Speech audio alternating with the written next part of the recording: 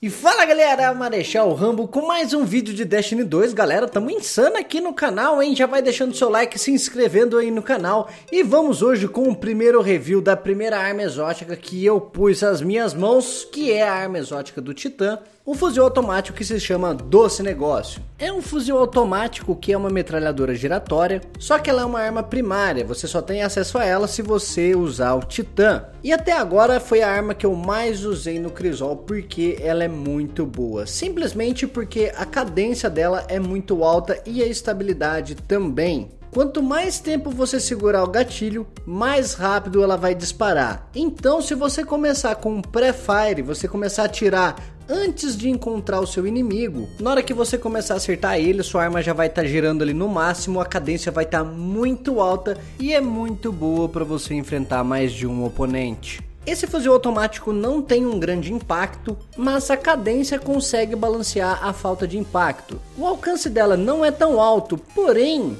ela tem um perk que quanto mais tempo você segurar o gatilho, maior vai ser o alcance dela. O único defeito dessa arma é o manuseio. Ela tem 99 balas no carregador e o tempo de recarga é muito lento. Mas como eu falei novamente para vocês, a cadência compensa. Se você acabou com as balas do carregador, é bom você usar o escudo do Titã, que você vai conseguir recarregar tranquilamente. Apesar de que nós temos a secundária, que é uma primária, você pode usar uma arma mais rápida, como uma pistola para finalizar ou uma submetralhadora. Todo mundo que tá jogando de Titã tá usando ela e eu tenho minha opinião, eu acho que ela vai ser nerfada porque ela tá muito boa de usar. Eu ainda não testei os outros exóticos dos outros personagens, mas eu vou fazer isso e vou trazer o review aqui para vocês. Coloquem nos comentários o que vocês acharam dessa arma, fiquem aí com um pouco mais de gameplay do Crisol jogando com a Doce Negócio. Galera, muito obrigado a você que me assistiu. Antes de ir embora, deixa seu like, se inscreve no canal, compartilha esse vídeo com os amigos, me siga lá no Twitter no arroba Marechal Rambo.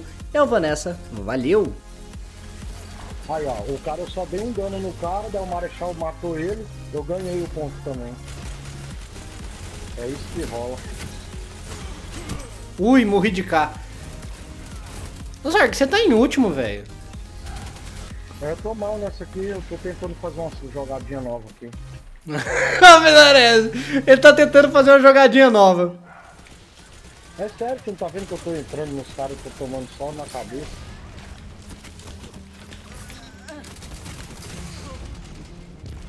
Pô, o símbolo da porrada ficou legal, né? Aham. Uhum. Pô, vamos pegar a bandeira aí, pô.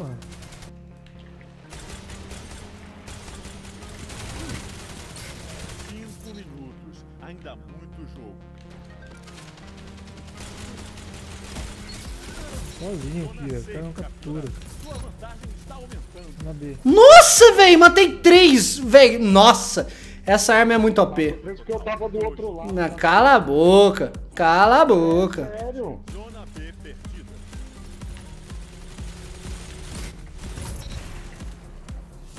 Você trava a guerra como um titã de verdade. Zona A perdida. Ó, o Venarez roubou minha kill. Foi bem mesmo.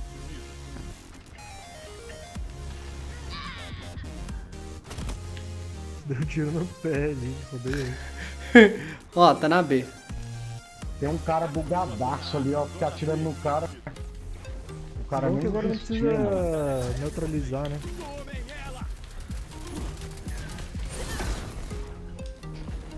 Caralho, Marechal. muito louco, velho.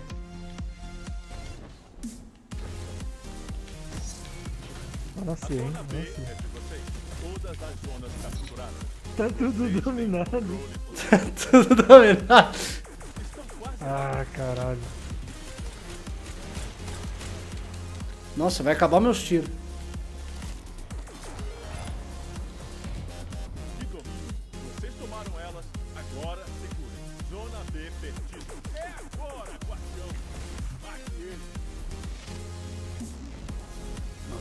puxar de 12.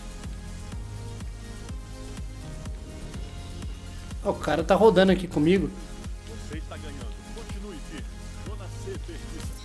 Suas táticas garantem a vitória. Mas Aí o tosso, mano. Boa, Zorg. Eu ganhei um lançador de granada. Velho, essa arma é muito OP. É muito OP. Nossa, 75 a 30, hein? Passamos nos caras. Olha lá, consegui 21 kills.